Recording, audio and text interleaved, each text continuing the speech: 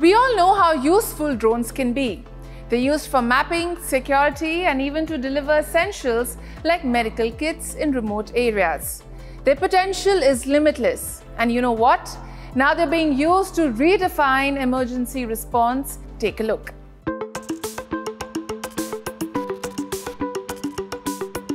Guatemala is one of Latin America's most disaster-prone country.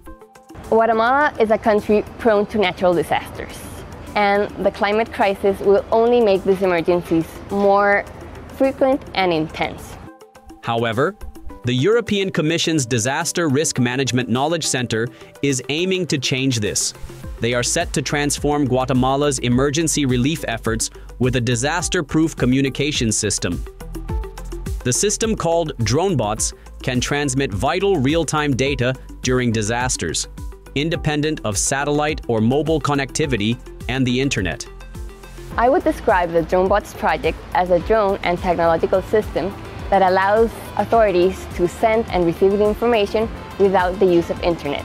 This is especially useful because during an emergency, um, the communication network are usually the first ones to go out.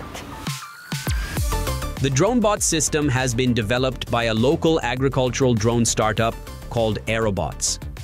The idea is to get data back to aid agency headquarters from remote regions that often lack stable electricity and internet. Their solution uses LoRa, or long-range wireless radio technology that allows devices to communicate over low-power wide area networks.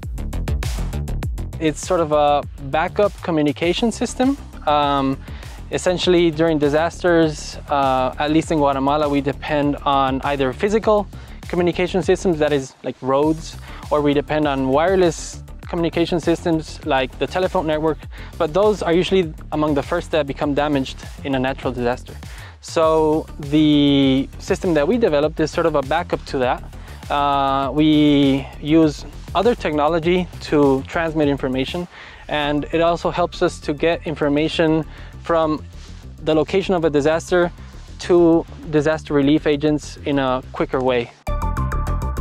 The DroneBot system helps establish a vital communication network between decision makers, drone operators, and local volunteers, serving as a crucial lifeline when traditional networks fail.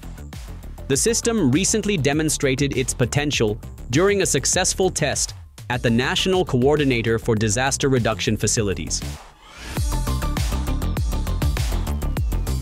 Test results showed that drone bots can speed up the delivery of information to emergency responders by 80%.